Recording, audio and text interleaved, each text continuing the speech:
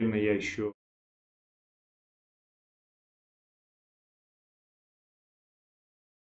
истории биологии. А, занимаемся мы разными объектами, и но проекты в основном генетикой и размножением растений. Сана вирусы растений на семье вирусологов. Так, я по не вирусолог. Видите меня? Зачеты.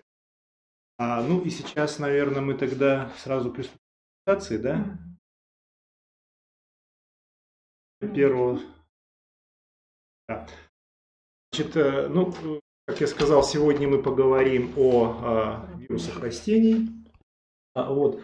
Я попытаюсь вам рассказать о строении и особенности, особенностях вирусов растений, их классификации, хотя классификации как таковой нет, в полном экологическом значении, применении в практике человека и на растительных, ну и защита от вирусов у растений, что-то наподобие вирусов растительного.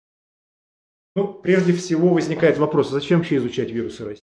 Да, понятно, что вирусы человека изучают для болезнями, вот, но а, всего известно в настоящее время порядка 4000, чуть больше вирусов, которых около тысячи э, растений. И основная, конечно, тоже причина их изучения в течение столетия, наверное, была это негативное влияние вирусных заболеваний на урожайность в сельском хозяйстве.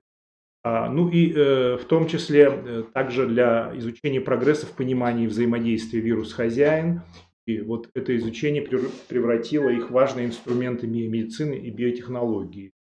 А, кроме того, а, растительные вирусы используются для производства большого количества искусственных белков, для разработки безопасных и недорогих вакцин для человека и для животных. Ну, Кроме того, э, согласно вот официальной статистике, вирусы приводят э, в мире к потере урожая на порядка 60 а, миллиардов долларов США, это ежегодно.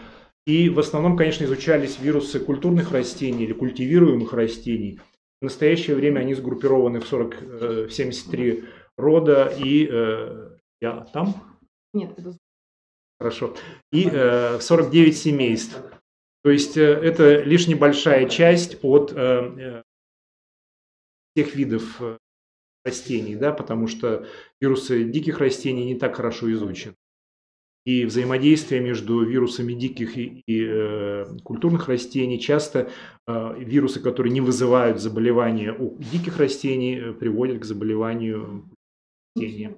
Вот. А, ну и э, современный вот концептуальный Э, методологические открытия, прежде всего экологов и молекулярных биологов, дали четко ясно понять, что вирусы являются не просто разрушающими агентами, важными компонентами глобальных экономических, глобальных экосистем и играют большое значение для э, контроля генетического разнообразия, и прежде всего они взаимодействуют на границах так называемых агроэкологических интерфейсов, то есть там, где встречаются дикие растения с культурными растениями. Ну, а, растения составляют э, более чем 80% биомассы на Земле, и э, тем самым вирусы растений оказывают большое влияние на стабильность функционирования экосистемы. А, то есть э, Какие-то да, технические, да, какие технические заминки они хотят настроить, поэтому я а, паузу сделаю, да.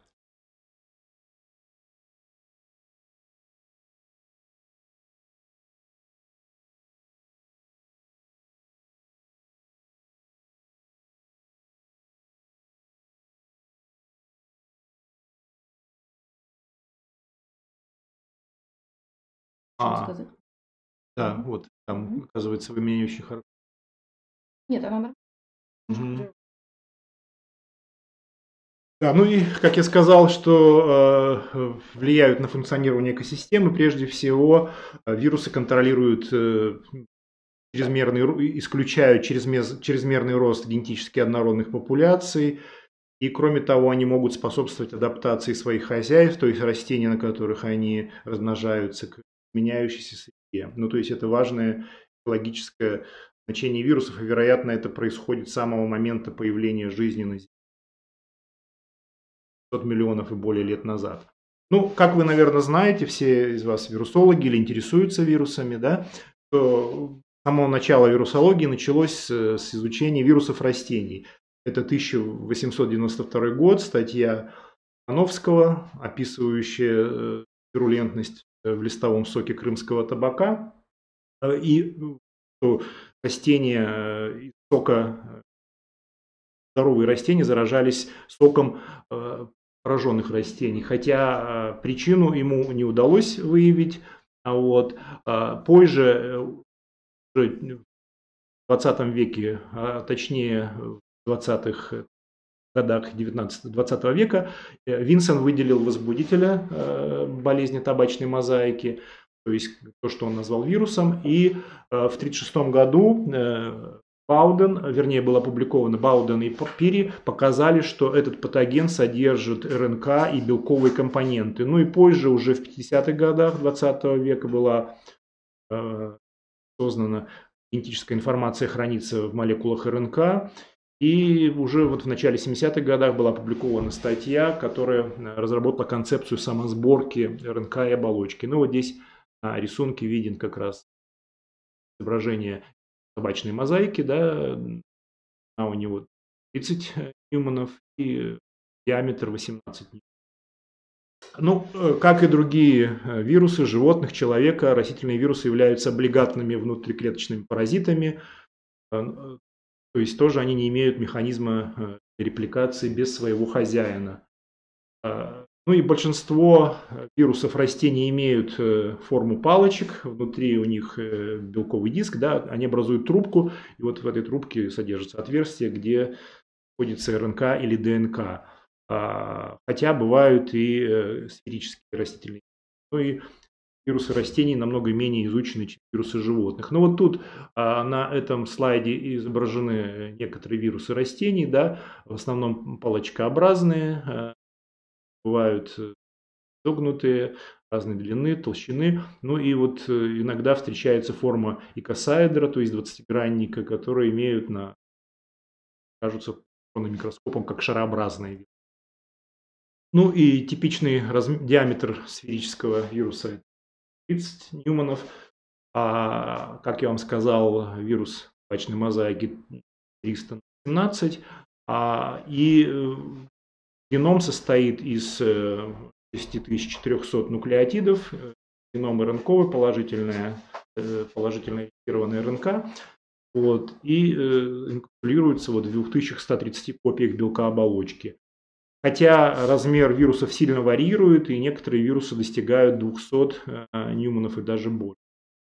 Вот я сказал, что для сравнения, что средний размер клетки мезофила листа, он примерно 50 микрон, да. А, ну, э, давайте рассмотрим строение да, э, вируса одного из наиболее хорошо изученных. Это вирус табачной мозаики. Э, он называется еще, то есть относится к роду табамовирус, тоже положительная смысловая одноцепочная РНК, как я вам уже говорил. Держит КЭП, пачок 7-метилгуазин, гуанозин и э, нейтрон, 3' э, UTR, кодирующий транспортную РНК, и всего белок кодирует 4 белка. Вот здесь видно 4 РФ, 4 рамки щита, да, из которых э, участвуют в репликации РНК, а также так называемые movement протеины или белки движения, и белки ответственны за сборку капсида. Э, ну, Опять же, возвращаясь э, к систематике филогении вирусов, довольно сложно ее производить, потому что вирусы не оставили никаких ископаемых остатков, и их эволюция может быть установлена только путем биинформатического филогенетического анализа. Ну и этот анализ довольно хорошо работает на промежуточных таксонах, то есть род семейства ну, довольно сложно или порой даже невозможно на более низком видовом уровне или более высоких э, таксономических уровнях установить их происхождение. Ну и прежде всего, как вы знаете, это происходит из-за того, что вирусы имеют большую скорость размножения и мутаций. Цикл размножения приводит к ряду сходных, но идентичных вариантов. Да? И мутации варьируют от точных мутантов до там, делеций, штаммов и самых раз, различных рекомбинаций, э, межвидовые и видовые и тому подобное. А, и э, считается, что вирусы на Земле возникали более одного раза. Вот. Ну и кроме того, а, вообще сейчас, когда говорят растительный вирус, э, как бы само понятие растительный вирус считается проблематичным, потому что многие современные вирусы растений, они заражают нерастительные организмы, прежде всего переносчики, которыми они распространяются, это вирусы, то есть называемые векторами, да, а, и большинство из них э, развились из э, членистоногих, из грибов и прочих э, нерастительных организмов. Ну, для истории и эволюции вирусов охватывают три основных этапа. Это коэволюция и совместная дивергенция вирусов растений с хозяевами, ну, например, я указал коронавирусы. Потом эволюция, которая осуществлялась горизонтальным переносом между вирусами, заражающими сходные группы организмов, да, в том числе униновирусы. То есть горизонтальный перенос – это довольно известное свойство вирусов, да, и параллельная эволюция вирусных групп со связанными генетическими элементами, да, ну вот для примера я указал э, цирковирусы и гемининовирусы. Э, ну вот этот э, слайд показывает как раз э, от свежего ревью Nature, да, он показывает множественное происхождение вирусов растений. Ну, здесь э, видно, что идентифицирующие не, не растения, ближайшие родственники растений – это э, грибы, здесь они обозначены коричневыми кружочками, и э, членистоногие, плохо с цветами, розовые да, или сиреневые цветы. Да? А, и э, не считая вирусы, которые заражают как растения, так и грибы, и членистоногие, ну, прежде всего, это э, семейства партитивирида и реавирида. Значит, большинство вирусов, эм, даже чисто растительных, вот, например, эти вот э, Каулима вирида и 14 это поливирида. Они имеют геномные фрагменты и очень большие э, фрагменты, которые э, гомологичны вирусам членистоногих и грибов. Ну вот, например, РНК-зависимые РНК-полимеразы, секаверидов, и они тесно связаны с таковыми у цистовиридов, э, ифловирусов и других, э, которые заражают э, растительных нематод и прочих беспозвоночных. А Кроме того, различное происхождение вирусов позволяет как бы произвести их эволюционную классификацию в пределах, как я сказал, только определенных типов вирусов. Ну вот, прежде всего, вирусы, которые имеют геномы с положительной или отрицательной РНК-цепью, или небольшие геномы ДНКовые с двойной или одинарной цепью. Ну и э, первый вирус был, как я уже сказал ранее, очищен и выделен только в 30-х годах.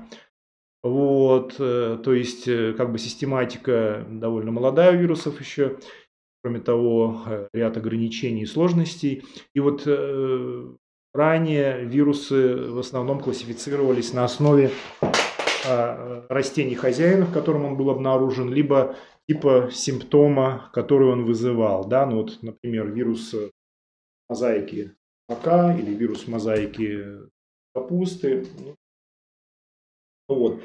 А, кроме того, есть так называемая систематика по Балтимору. А, вот. Это прежде всего по типу э, наследственного материала, который ну, содержит вирус.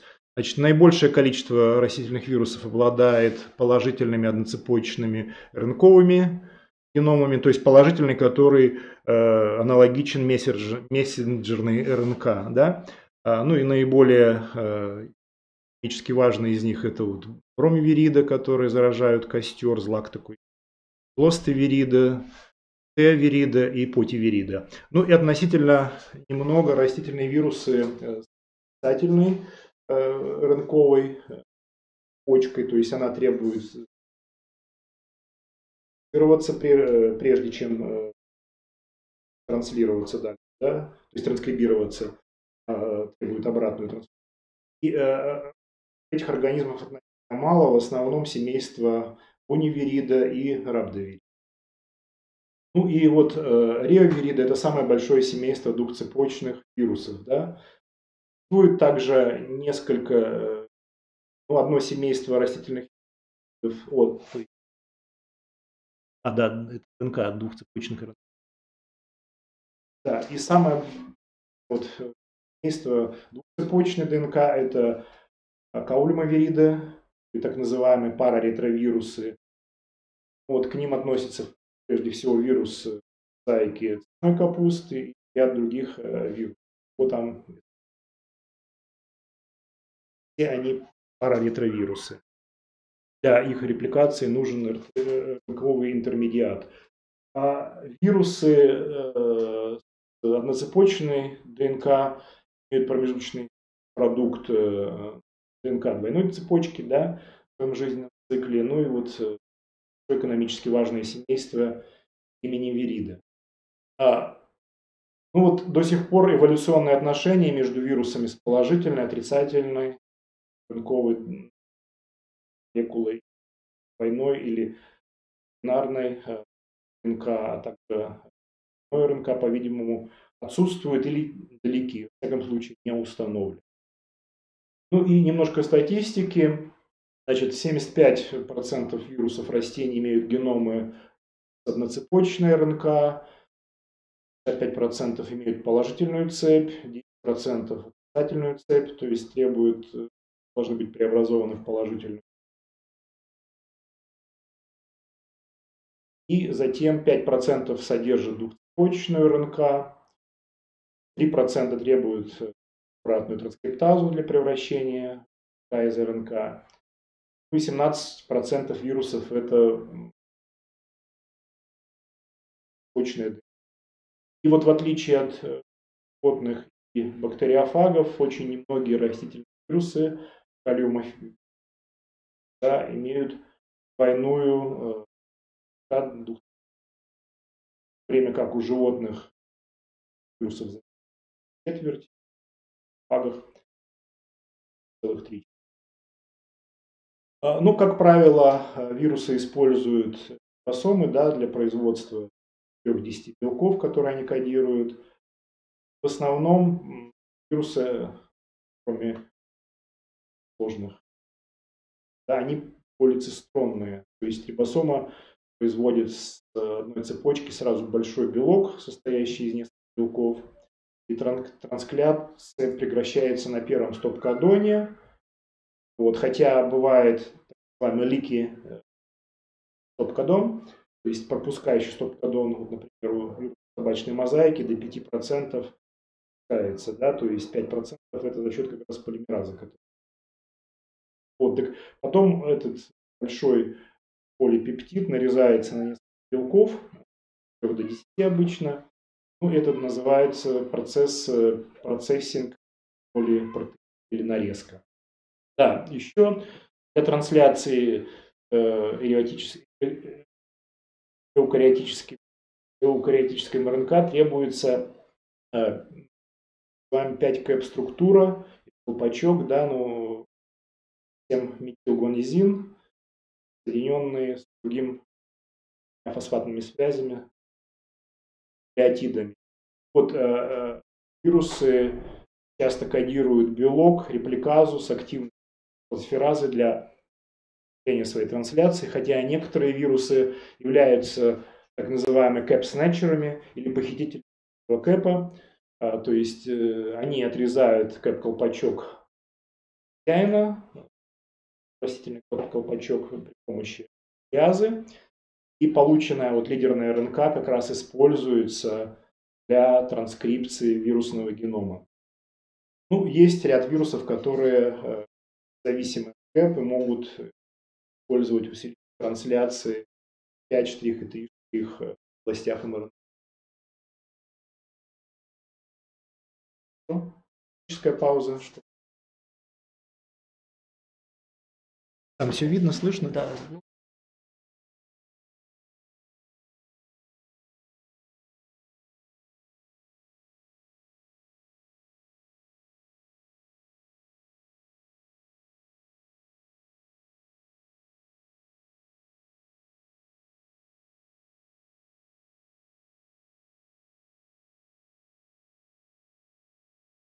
Попробуем продолжить. Да. Видите, тут небольшое улучшают звук. Продолжаем. Ну и э, еще особенность вирусов, да, то есть вирусные, как вы знаете, э, во-первых, растения не движутся, ведут неподвижный образ жизни, в отличие от животных и людей. То есть э, проникнуть вирус только в неподвижное растение. И э, второе э, отличие, как биологи, наверное, знают, что у растений, в отличие от животных, есть клеточная оболочка, да, состоящая из олигосахаридов, и есть э, кутикула часто. Так вот, растительные вирусы не способны проникать через кутикулу и клеточную стенку растений. Кроме того, у растений нет рецепторов, которые воспринимают вирусы. Поэтому в основном проникают они через раны, вызванные механическим повреждением. И следующий этап, значит, ну это уже как у всех вирусов, э, частичное или полное удаление оболочки вириона в цитоплазме для дальнейшей вируса. Ну, клетка экспрессирует вирусный геном, она предоставляет им аппарат для, для транскрипции, поскольку сами вирусы могут самовоспроизводиться, ну и аппарат для трансляции. То есть ДНКовые вирусы должны попасть ядро клетки, э, где происходит трансляция, да, ну а для транскрипции, которая происходит в цитоплазме, это уже все вирусы должны иметь доступ к белкам, необходимым для производства РНК-мессенджеров. Вот. А, а при передаче э, вирусы, как я сказал, вирусы, то есть растения не подвижные структуры, да, не имеют рецепторов, поэтому передача и стратегия, которую используют вирусы растений, отличаются от вирусов животных. Как правило, э, используется переносчик вектор, называется он, да, обычно это насекомые, вот, или другие беспозвоночные. Ну, а клетки вируса окружены твердыми клеточными стенками, поэтому транспорт от клетки к клетке, э, как вирусный, так и невирусный э, РНК может происходить через э, плазмодесмы, да. А, ну и э, перионы тоже предпочитают этот. Вот тут у меня слайд, показывающий строение клеточной стенки. Да, она бывает первичная, в основном состоит из мягких э, мягких э, из пектина, да, и э, из более э, твердых углеводов, э, полиуглеводов это целлюлозы, гнина. И э, соединяются между собой клетки каналами, которые называются плазмодесмы.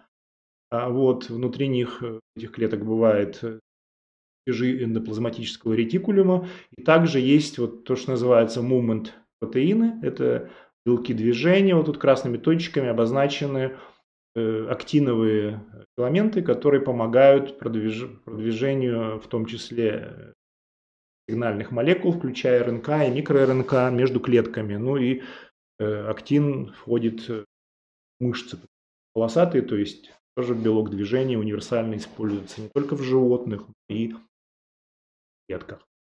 А вот. А, ну и э, процесс перемещения от одной клетки к другой может занимать несколько часов. Э, для э, перед, передачи, если идет через плазмодесму, Но для того, чтобы ускорить э, процесс передачи и захватить как можно больше количество растений или все ткани растений, необходим системный перенос. Да? То есть системный перенос осуществляется через элементы флоэма, это сетовидные клетки, по которым движутся ассимилянты, питательные вещества, и вирусы свободно движутся с потоком ассимилянтов. То есть э, тут э, не несколько часов, а буквально сантиметры в час. А ну, для того, чтобы время для возникновения системной инфекции у растений варьирует от нескольких дней до нескольких недель. Но зато после этого растение поражается моментально, да, распространяются вирусы, вирионы по клеткам. Вот. Ну и э, в основном передача идет через э, основные векторы, это насекомые, прежде всего тля, белокрылка. Вот. Э, э, ну, я уже упоминал вирусы из класса Рhabdoviрида, они фактически являются вирусами насекомых, которые эволюционировали для размножения вирусов растений. Некоторые вирусы нажались в митохондриях насекомых, но потом они приобрели э, движение, которые отвечают за сборку капсиды, и фактически стали независимыми и перешли или хозяина, да, митохондрий. Ну и э, э, конкретный вектор может идентифицировать только то растение, которым он питается. Ну вот э, белокрылка, да, э, когда освоение нового мира, нового штата, из старого мира э, белокрылкой было перенесено десятки, э, то есть не десятки, несколько вирусов, и они заразили десятки растений. Вот тут слайд тоже из обзора в Nature. А, вирусы, то есть векторы, которые заражают не один и не два, а большое количество а, родов и семейств, называются полифаговые векторы. И вот в частности белокрылка из рода а, Бемиса табачная белокрылка, она вот распространяет три этих вируса, бегомовирус, криновирус и комовирус, э, несколько десятков э, семейств. Розоцветные, сложноцветные, даже эуфорбиация, это и уфорбивые, и бобовые, и какие хочешь.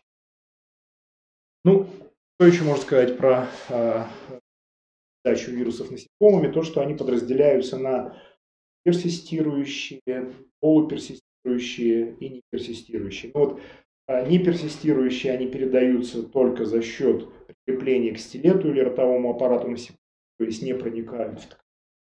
А, полуперсистирующие они проникают в кишечник, а персистирующие вирусы проникают не только в кишечник, но и в лимфу, железы насекомого.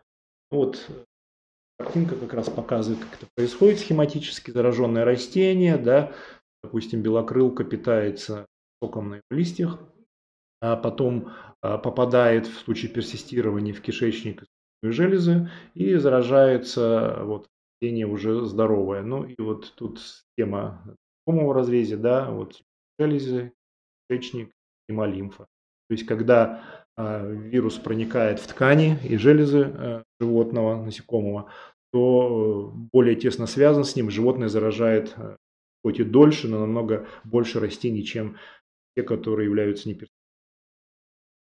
Вот. Ну и вот вирусы рода пативирус, которые не персистирующие, они даже имеют специальный белок, который приклеивает к ротовому аппарату тли. И таким образом растение то есть тоже может заразить не только одно, а несколько растений за счет того, что вирус более долго связан. И происходит заражение от нескольких секунд до нескольких минут. Ну и для э, персистирующих вирусов вот этого семейства вирида, который циркулирует в теле тли, требуется минимум 12 часов для продвижения, но они могут быть переданы, прежде чем они переданы другому растению. Зато фактически все растения, которыми она питается, будут заражены, потому что вирус в ее теле находится постоянно. А что еще можно сказать про а, вирусов растительных, которые бывают так называемые размножающиеся вирусы и циркулирующие. То есть размножающие способны размножаться не только в клетках растений, но и в клетках насекомого. Вот, э, а циркулирующие вирусы, они размножаются только в клетках только в клетках растения, да, и, ну вот, например, вирус бронзовости томата, и они защищены внутри с помощью белка симбионта, э, шаперон его еще называют, то есть специальные белки э, бактерий, обитающих внутри да, то есть сложная система насекомое, бело, э, насекомые, бактерии, вирусы, вот они как бы способствуют размножению вируса, да, все вместе, вернее его передаче растений. Вот, а у персистирующих э, вирусов, ну вот, например, вирус пятнистого видания томата, присутствует еще и липидная оболочка, что не характерно вообще для большинства растительных вирусов. Э, вот. И эта липидная оболочка э, производит белки, или вернее содержит белки, произведенные ранее, да, и они связываются с клетками насекомых, происходит так называемый рецептор-последовательный эндоцитоз, когда э, вирус, сами растения не имеют рецепторов, но тем не менее вектор может иметь рецептор, который помогает вирусу передать его растению. Ну и следующий э, вектор это может быть нематоды, круглые черви, да, ну они питаются гнилыми корнями, в то же время повреждают их и передают а, следующим растениям.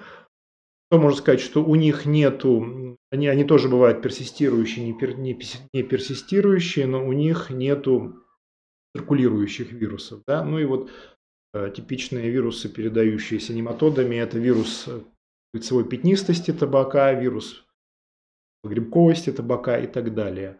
Ну и еще некоторые вирусы, вот в частности вирусы зерновых, вирусы некротического пожелтения – Свеклы передаются при помощи плазмодиев. Точнее, вот семейство плазмодиев фуфоридис. Да, это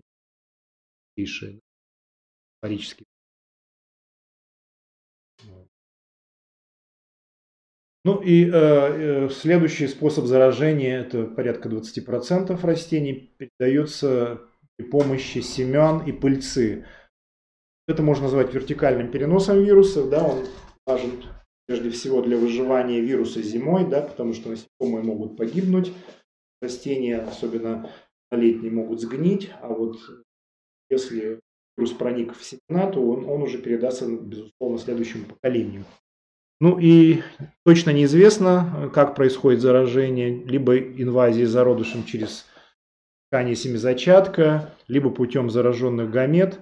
Вот. Но, однако, известно, что многие виды из семейств э, вот, повых, э, масленовых, сложноцветных, разноцветных, тыквенных, даже лаковых передаются через вот, вирусы передаются через пыльцу. Ну вот здесь слайд, как это происходит, либо семенная оболочка от э, вегетативных тканей материнского организма, либо через зараженную пыльцу спермий э, при оплодотворении проникает в яйцеклетку, может заразить как э, сперм, так и клетку, ну и ткани спорофита также. Да, еще вот была одна статья в 2010 году, что якобы вирус э, слабой крапчатости перца да, может передаваться от растений к человеку. Однако статья оставила много вопросов, ну, то есть, чтобы передаться человеку, должны связаться с каким-то рецептором. Да? Ну, на поверхности рецепторов клеток животных и человека нет рецепторов для восприятия растительных вирусов. То есть, э, ну, там дискутируется, что, возможно, он передается при помощи РНК-преференции. Ну, возможно, но точно механизм не объяснен и, в общем-то, остается под вопросом, могут ли передаваться вирусы. Вот. А, что еще? Э, э, ну, специфичность у вирусов разная, да, от нескольких видов или даже одного вида, как вот вид, вирус цитрусовых тристеца, до э, вот вирус мозаики огурцов может передаваться до более тысячи видов из 85 семейств. Ну и вот тут разные э, симптомы заражения, да, наверное, все вы знакомы, у кого есть сады, огороды и домашние растения, различные хлоротичные, хлоротические поражения, пение, скручивание плодов и так далее. Вот. Да, ну это я пропустил. Этот, э, значит, э, э, опять же, огромный ущерб для урожая, как я уже говорил, приносит вирусы. Вот, допустим, вирус деформации побегов какао, выращиваемых только в Африке, приносит ущерб на стоимостью 28 миллионов долларов ежегодно. Для поражения риса вирусом Турга, Тунгра, то есть, извините, а в Юго-Восточной Азии полтора миллиарда долларов. И вот вирус бронзовости томатов ущерб на 1 миллиард долларов ежегодно. Причем он поражает не только томат, но и арахис, табак и другие культуры. Вот.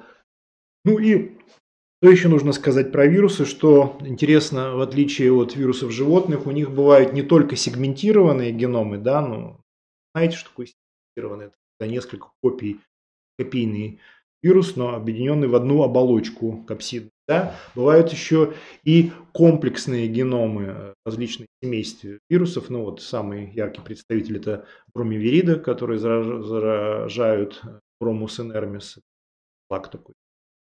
А, и они содержат комплексные геномы, где геномы разделены на несколько вирусных частиц. Ну и чтобы произошло инфицирование, растение должно быть заражено всеми этими частицами. Вот. Ну и вот, например, э, вирус мозаики брома, он имеет три вирусных частицы. Все они три необходимы для возникновения инфицирования. То есть, э, что это дает вирусу? Прежде всего, таким образом, вирус может увеличивать геном, потому что ну, налагает э, ограничение на размер генома транспорт через плазмодесмы, ну и легче проникать в клетку. Но, с другой стороны, если не, вся, не все частицы, а хотя бы одна отсутствует, то уже размножение вируса невозможно. Ну, учитывая, что обычно вирусы как бы транслируются с избытком, то Э, как правило, недостатков не бывает. А, вот. Ну, еще, что еще интересно, для применения вирусов, э, значит, в 80-х э, годах стали популярны и до сих пор используются трансгенные растения, не только для экспериментов и питания, но и для производства антител, вакцин, человеческих гормонов. Ну и сначала использовали полностью вирусы для производства белков, да, это довольно затратный по времени и по средствам процесс, а потом стали использовать э, для экспрессии различные части вектора, прежде всего их э, промоторы. Ну вот а первые вирусы, наверное, такие как э, вирус табачной мозаики и вирус мозаики Вигны, пользовались сначала для производства рекомбинантных протеинов, белков. Ну и наиболее хорошо изученный это вот вирус табачной мозаики и вот этот 5С, вирус мозаики а, к цветной капусты. А, вот он тоже выглядит такой шарообразный, да. А, относится он э, к роду каулимовирус, э, семейства каулимовирида. Я вам про него говорил, что это параретровирус, содержит двойную спиральную э, ДНК. Ну, размер ДНК порядка 8 тысяч пар нуклеотидов. И тут схематическая геномная карта представлена. Состоит он из промотора и семи белков, которые кодируются в геноме. Ну, это прежде всего белки движения, передачи насекомым белки, связанные структурные белки, белки, апсидные и так далее. Но интересно, что э, у э, вот этого вируса очень сильный промотор, конституционный промотор, который используется для запуска, для экспрессии многих генов. Не только для практики, но и для экспериментов. Вот я вам показываю слайд из нашей работы, которая была уже сделана опубликовано 15 почти лет назад. Вот мы изучали э, э, семистерильность у арабидопсиса, в том числе э, готическую эмбриональную семистерильность, то есть нокаут при помощи ТС-элементов производился генома, и вот стройка ТС-элемента в частичку протеосомы 26С РПН1 приводила к 25% абортивности. А тип, в отличие от дикого типа, где семена полностью выполнены, были вот такие частички, то есть частички, говорю, такие растения, где 25% абортировалось на стадии полярного зародыша. Так вот, мы, чтобы есть такой метод для доказательства, что именно этот ген казуативный, называется комплементация или rescue фенотип, восстановление фенотипа при помощи ревер, ревертивности. Мы сделали вот такой констракт, э, две копии 35S промотора вируса э, мозаики капусты были сшиты с полным э, скриптомом, не транскриптомом, а вирусом безинтрон, геном безинтронов RPN1. И в итоге мы, нам удалось ревертировать несколько растений, получить с сектором дикого типа. Ну, вот такой фенотип мутанта, а это то, что мы получили. Да? То есть фенотип восстановился, ну и ПЦР-анализ и секвенс подтвердил, что э, вот в этом, в этом ревертанте не было а, не было DS-элемента, да, но остались вот 8 нуклеотидов, составляет DS. То есть таким образом произошло восстановление фенотипа за счет да. Ну и э, э,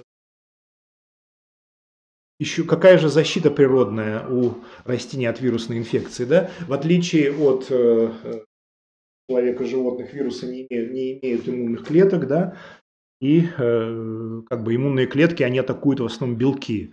Значит, вирусы растений, э, то есть геном растений или растения атакуют уже РНК, э, генетический материал э, вирусов в основном за счет э, сайленсинга. Да? Ну и бывает защита пассивная, это когда э, растения не продуцируют там один или несколько факторов хозяина, необходимых для размножения вируса его распространения. И активная это, которая как раз включает обнаружение и уничтожение зараженных клеток и э, придание устойчивости растениям. Вот, но э, есть э, такие так называемые R-genes, resistant genes, да, которые придают устойчивость э, болезням, вызывая образование R-генов. Но э, вот R-genes или R-гены, они состоят из так называемый нуклеотид связывающего домена и домена богатым лицином, лицин rich repeat. Вот, а здесь вот как раз вот это домены показываются, они участвуют в межбелковых взаимодействиях, а ну, также в связывании лигантов. И производят эргены от сотни до шести сотен мологов разных вот. Ну и, э, как я сказал, э, что растения не имеют циркулирующих иммунных клеток, и основное э, средство защиты – это РНК-сайленсинг. То есть они активируют защиту, могут перемещаться от клетки к клетке, да, микроРНК, и э, таким образом гасят э, образующиеся вируса. Кроме того, закрываются плазмодесмы, то есть они уменьшают транспорт э, вирусных РНК через клетки, но при этом пропускают микроРНК собственного растения. Вот. А, и э, малые микроРНК э, могут э, быть э, переданы при помощи вспомогающих, вспомогательных так называемых внеклеточных визикул, экзосом или мультивекулярные тельца, которые образуют сообщество экзосом. Ну и в экзосомах э, бывают РНК, мессенджеры РНК, микроРНК и небольшие инфекционные РНК, которые могут передаваться как через плаэму, через плазмодесмы, так и через апопласт, то есть не, не клеточный путь. Вот тут показан механизм образования экзосом да, в клетке, в цитоплазме. Счет экзоцитоза они выбрасываются наружную содержат МРНК, микроРНК, белки иногда. И движется как по симпласту, то есть внутри клеток, так и по апоп пространству. Вот. А, ну и э, регулирование экспрессии генов э, э, инсайленсинг э, происходит за счет деградации мессерджиной, мессерджиной не выговорить, МРНК, да, патогена и репрессии трансляции, а также путем ремоделирования хроматина. Ну, э, управляется процессы подавления экспрессии процессингом продуктов триггера почной РНК. Известны они как реагирующие РНК или микро. Тематически они представлены, да, двойная спираль РНК или хайерпин, булавочка, она тоже. РНК, а, белок Дайсер резает спиральную РНК на фрагменты, Дальше белок аргонавт является элементом риск-комплекса, доставляет их риск-комплекса, риск-комплекса распознает РНК патогена, как раз сажает их комплементарным способом на РНК. Это является э, сигналом для уничтожения, и за счет этого идет э, градация РНК, так называемый РНК-сайлинсинг. Ну, а сайлинсинг а, а свободные вот эти РНК, РНК опять высвобождаются, и процесс как бы растет по метрической прогрессии, пока необходимость уничтожения не прекратится. Ну, вот. ну, еще один способ – это э, регулирование посредством деградации. С помощью э, называемых биквитин, сонный путь от участия молекулы биквитина и протеосома 26С, но это по степени осаждения 20. Комплекс, который осуществляет э, градацию белков во всех эукариотических клетках, не только у растений, и он довольно консервативен филогенетически у растений, животных, всех эукариот. Вовлечен он э, как в протеолитические, так и э, в другие процессы. Контроль иммунных реакций важен для разнообразных базовых процессов на прикрепление клеток. Ну вот, э, для примера, это как раз белок многократного использования убиквитин, состоит из 76 аминокислот, глицин в терминальном положении, красным обозначенный лейцин, привязывается. Значит, для того, чтобы э, для градации убиквитин привязывается к положению 27, как правило, и система э, который фактически является каскадом конъюгации, базируется на трех группах ферментов. Это юбиквин-активирующие ферменты, ферменты Е1, конъюгирующие ферменты Е2, которые передают остатки юбиквина на протеин э, лигазы, юбиквин лигазы, да, и вот, собственно, они являются теми самыми основателями таргета и прикрепляют, как правило, 4 или 5 остатков. И вот как раз Юбиквитиновая метка является сигналом для протеосомы 26С, а, что или эту, эту мишень нужно уничтожить. Внутри является симметричной, состоит из белковых альфа и бета последовательностей, является, находится а, протеолитическая э, полость с протеолитическими ферментами. И вот эти две крышечки, они как раз принимают участие в распознавании таргетов. Вот. Ну и без надежной функции вот этого убиквитированного и убиктинированного пути э, инвазия патогенов и других э, вредных молекул резко возрастает из-за ослабления иммунной защиты. А как же э, борется с этим делом? Ну, значит, прежде всего идет селекция на устойчивость растений к вирусам, то есть ну, это началось с самого начала одомашнивания человеком растений в эпоху собирательства. Да? Но сначала э, э, как бы селекция шла чисто визуально, морфологически, да, те растения, которые не заражаются или редко заражаются, да, а потом стали контролировать выращивание с помощью генетически обусловленной, э, рожденной э, болезням То есть приобретенные генетически стали выводить сорта и различные виды растений культур. Да? Ну и э, патогены тоже находятся под давлением отбора, появляются новые патогены, особенно вирусы и бактерии к этому склонны, поэтому довольно сложно, говорится, каждый э, вирус появляется. А генная устойчивость также бывает э, ну, для подавления вирусной инфекции, так называемые RNA silencing based, то есть основанная на RNA silencing, о том, о чем я рассказывал. То есть, например, у а, тыквы, комбинируя гены вирусных оболочек, трех вирусных оболочек, точнее, да, делали гибриды для трех таких вирусов, получили гибрид с поливирусной устойчивостью. Ну вот, а, еще один пример трансгенная инженерия, да, устойчивости к вирусным заболеваниям, это вирус э, кольцевой пятнистости папайи. Вот на слайде видно, как выглядит, как появляется симптомы этого вируса, да. Он уничтожил к середине 90-х годов почти всю индустрию папайи на Гавайях.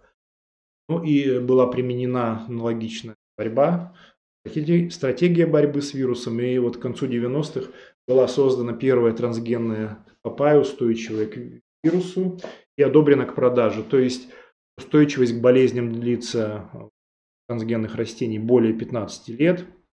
И вот э, трансгенная папайя составляет э, порядка 85% производства в в США. Также одобрен, одобрена для продажи в Азии. Вот. Э, ну, и еще интересно, вот, э, что компания Monsanto, да, производила так называемые, у них были торговые названия New Leafy Y и New Leafy Plus. Она производила картофель, устойчивый к вирусу скручивания листьев картофеля. Да? И, э, кроме того, вот эти гибриды, э, гибриды а геномодифицированные растения также имели устойчивость к колорадскому жуку за счет бациллиус рингиенсис, ген, который был в этом констракте. И первое время э, особенно продвигал эти линии э, New Leafy, да, э, Макдональдс. Ну, однако после вот нападок зеленых и большого общественного движения против генно-модифицированных растений где-то в начале 2000-х годов Макдональдс решил не покупать у Монсанто больше картошки. И Монсанто закрыла картофельный бизнес, который назывался Nature Mark. И, кроме того, э, прекратила исследования по созданию устойчивым болезням от вирусных патогенов других более десятка видов, которые находились в стадии разработки. Вот. Ну, э, и естественные аллели, которые а, также способствуют устойчивости к различным вирусам, это вот аллели EIF, 4E и F OG. То есть это фактор инициации элонгации, трансляции хозяина, да, а, в рецессивном виде они устойчивы прежде всего к потивирусам у таких болезней, таких э, культур, как мень, рис, а также помидоры, перец, горох, салат, дыня и некоторых других. Ну и сначала делали скрининг на а, естественный поиск аллелей. Ну, э, понятно, что многие культурные растения гексаплоидные, октоплоидные, то есть найти довольно сложно, тем более размножить их тоже довольно сложно, поэтому начали делать скрининг химически э, индуцированных мутатов, прежде всего ES-induced э, мутанты, да, когда искусственно мутируют растения и как бы селектируют на э, вот эту вот аллель И4Е, годную у томатов. Вот, э, ну, что еще можно сказать? Что у растений в геномах э, встречаются и эндогенные вирусы, так называемые ИРВ, э, напоминающие параретровирусы, то есть вирусы, содержащие цепочные, цепочные ДНК, которые фиксируются через цепочную РНК. Вот. И встречаются у растений э, вот, эндогенные производные вирусов, не имеющие обратной транскрипции, ну то есть вирусы, которые уже закрепились в процессе эволюции когда давно. Например, вирусы семейства имени Верида. Ну и э, вот ИРВИ – это один из немногих источников информации о древних этапах эволюции вирусов, потому что они произошли в результате интеграции какого-то древнего предкового вируса геном клеток хозяев, и их еще называют вирусные ископаемые, потому что они интегрировались в геномы растений э, много миллионов лет назад. Ну и вот э, довольно важные эти эндогенные вирусы для широко у животных, но растений только-только начинают исследоваться. их используют как идентификация логичных эндогенных элементов для калибровки временных шкал, для, для построения филогенетической деревьев, эволюции вирусов. Поскольку время расхождения растительных видов хозяев известно, ну и с, помощью вот, этих, вот этого метода удалось даже оценить возраст некоторых семейств вирусов, и, семей, такие семейства, как парвовирида, пиловирида, горновирида и э. То есть было установлено, что они от 30 до 93 миллионов лет назад произошли. Род ретровирусов, антивирус произошли 12 миллионов. А, ну и что еще можно сказать, что довольно важно исследование вирусной метагеномики, или ее называют сейчас еще вирусомика, то есть э, происходит смещение акцента изучения с отдельного э, системы или взаимоотношения вирус-вектор хозяин на характеристику целого разнообразия биологии вируса в контексте всей среды обитания, то есть всей экосистемы. А как известно, ну вот благодаря, опять же, отчасти э, новому поколению секвенирования, генетическое разнообразие вирусов не уступает разнообразию клеточных э, форм. И э, Вирусы, как я уже говорил, по-видимому, являются не просто патологические агенты уничтожения, а, вероятно, в системах выполняют ключевые функции в глобальных экосистемах то есть самого начала возникновения вирусов на Земле. Ну и вот тут у меня тоже слайд из этой же Zora Nature, да, в большем, лучшем понимании экологии и эволюции вирусов. Он показывает о том, что Э, решение важных вопросов в области экологии эволюции вирусов, вот как на уровне взаимодействия вирус-хозяин, вектор, да, также сообщество э, вирусов, логическое сообщество вирусов и целые экосистемы, оно э, может быть решено с помощью высокопроизводительного секвенирования или называется полигеномного секвенирования, Э, на основе, включая э, молекулярное секвенирование СМРТ, то есть они могут быть использованы для изучения взаимодействия масштаба экосистемы, э, также портативное секвенирование мини-ion да, в полевых условиях для картирования пространства вирусных последователей. Ну и это поможет выявить распределение вирусов агроэкосистем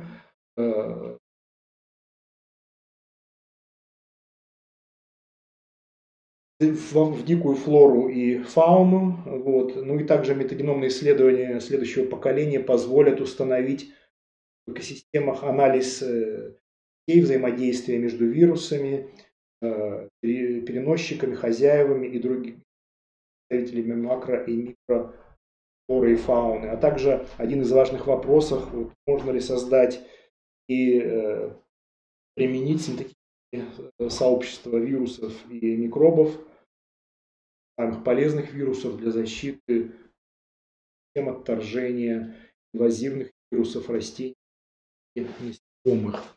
Вот. Ну и э, вроде как все, да, поэтому благодарю за внимание. Если какие-то вопросы, замечания, готов, если смогу ответить, выслушать. Да, можете видеть.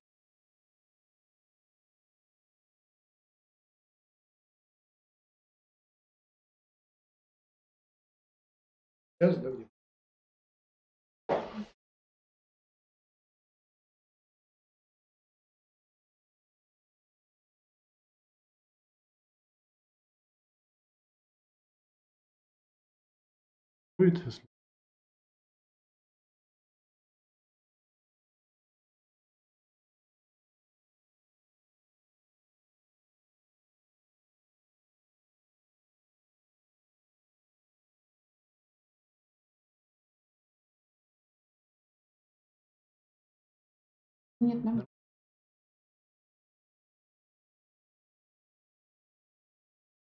Обратной связи? Нет, Нет, связь есть. вопросов.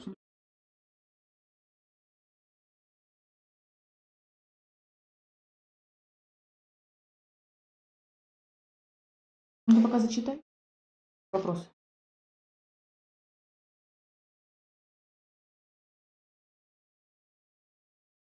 Есть там вопрос?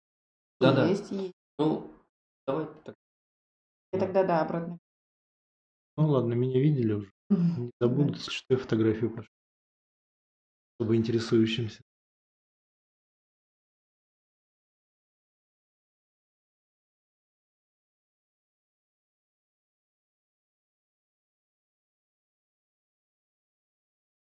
Да, видео что-то не получилось, но ладно. Ну ладно.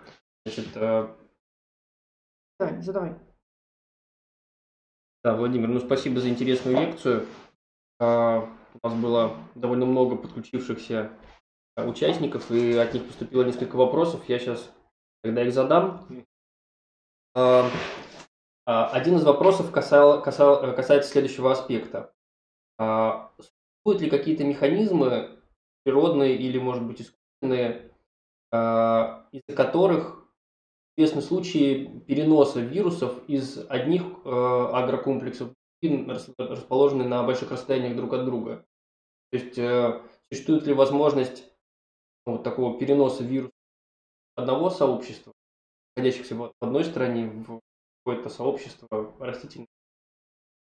Нет, ну безусловно, вот это даже, когда было, я рассказал, сказал даже в, э, в моем сообщении, да, что белокрылка, которая, когда пере- перевозили табак из нового мира в старый мир, э, перенесли десятки вирусов и заражены были десятки семейств растений. А при современной транспортировке, мобильности населения, безусловно, тут тебе и насекомые, тут тебе насекомые, которые или э, грибки и, и те же нематоды, которые могут э, прилипнуть к лапкам насекомых, и к рыбам, и к чему угодно. То есть, разумеется, вирусы, они вездесущие агенты, и они даже раньше проникали на другие материки, а сейчас тем более.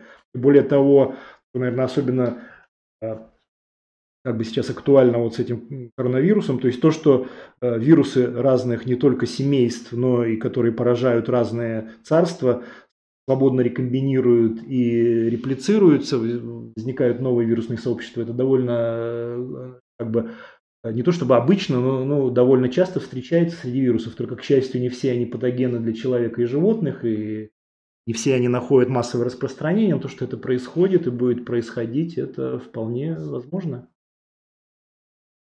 Хорошо. Тогда э, следующий вопрос э, был по поводу адаптивной иммунной системы. Э, известна подобная система у млекопитающих, в частности у человека. Есть ли некоторый аналог адаптивного или приобретенного иммунитета у растений, который позволит сформировать устойчивость при повторном заражении? Ну вот э, те микро-РНК, которые образовались, то есть существует пул, они же полностью не исчезают, но если вирус э, как бы возникает опять, то есть э, вот этот э, риск система, она их производит больше и больше, то есть они уже менее заражаемые, да? Вот. Понятно, что она не так быстро, как те клетки человека реагирует, но тем не менее, э, то есть популяции или в индивидууме есть, то есть они уже более быстро. Но кроме того, у растений идет естественная селекция, то есть те виды, которые не, не устойчивы, они, как правило, погибают, и следующие уже к этому штамму приспособлены. Понятно, что у человека такое сделать невозможно, хотя раньше тоже. Коронавирус покажет. Вот еще вопрос поступил а, касательно вирусов низших растений, в частности водорослей, морских водорослей. А, Известны ли какие-то классические вирусы, которые вот атакуют в первую очередь морские водоросли? Ну, харовые, я вот забыл название, где-то у меня тут выписано. Я не помню точно название, но есть, конечно, у водорослей есть. вирус. Более того, я думаю, что первые вирусы, они появились как раз у водорослей, а потом, то есть э, водоросли были первые э, возникшие э, растения, да, потом уже появились сосудистые растения. Где-то у меня было написано. Я не хочу придумывать, по-моему, это рабдовериды, но я точно не помню. Ну, тоже, а если ответить коротко, то да, есть вирусы у водорослей, их нет. Спасибо. Следующий вопрос поступил по поводу как раз рhabдовирусов. А, В книге «Эволюция, расти... «Эволюция вирусов» автора Жданова а, высказывается гипотеза о том, что рhabдовирусы – это изначально, изначально вирусы растений, и, а, э, соответственно, имел место эволюционный, переход по следующей эволюционной цепочке. Растения, насекомые, млекопитающие. Мгм. И, соответственно, у млекопитающих он вызывает болезнь, которая бешенство или боязнь по старой классификации. Ам, Известно ли вам что-то про эту концепцию? Нет, Насколько э, она- честно говоря, поскольку я сказал, что я специально вирусами не занимаюсь, мне неизвестно, но то, что вот из прочитанной литературы, из исследований коллег, я знаю, что переход э, от одного царства в другое вполне нормально. Вообще вот, ну вот э, то, что я вам рассказывал, обзор прошлого года и в Nature, они считают, что вирусы произошли наоборот э, в растении от насекомых и грибов, но вполне возможно, что они могли ходить туда и обратно. Вот. Но единственное, что э, вирусы, э, да, я говорил в начале доклада, что э, вирусы, почему считается, что наиболее близкое э, насекомые и э, в том числе членистоногие, да, и, э, то есть не только насекомые, вообще членистоногие, и э, грибы, потому что у них очень много гомологичных белков в капсиде, то есть даже те вирусы, которые только считаются инфицируют растения, у них очень много белков, которые гомологичны белкам вирусов вот именно этих организмов. То есть кто- откуда, откуда, да, там диван не очень хороший, крайне садись, не упадет. ну, равно. Вот, а, и э, э, этот, э, то есть что раньше курица и яйцо, это проблематично, потому что, как я вам сказал, э, филогения вирусов только начинается современным уровнем, да, и довольно сложно ее делать. И кто был первым носителем, вполне возможно, что были растения, потому что они раньше появились, да. Вирусы это очень древние, хоть и внеклеточные элементы. Вполне возможно, что от растений они перенесли э, на насекомых, а потом вернулись назад. Но я точно скажу, поскольку я исследованием этим не занимался, я вам не могу сказать сто процентов. Так, ну, был вопрос, что случилось с диваном, но я думаю, это не входит. Шатается немножко, да. А, ну что ж, я думаю, что на этом мы можем закончить нашу трансляцию. Да, Всем мы- спасибо. Да. Жалко, что не удалось пообщаться лично, потому что у меня к вам тоже вопросы есть. Но думаю, в следующий раз. Да, будем теперь надеяться на том, что, на, на том, что мы еще пригласим в Вирион Владимира. Э, ну, и эта встреча уже придет, пройдет в классическом формате очно. Всем спасибо. Да, спасибо. Всего доброго. До свидания. свидания.